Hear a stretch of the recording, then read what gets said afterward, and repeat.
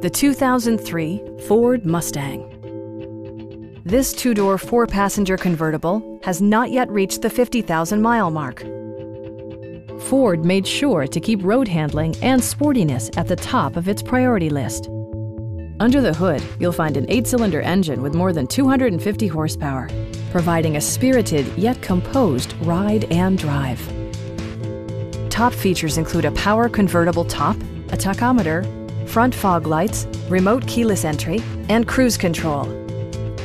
Ford also prioritized safety and security by including dual front impact airbags, traction control, a panic alarm, and four-wheel disc brakes with ABS.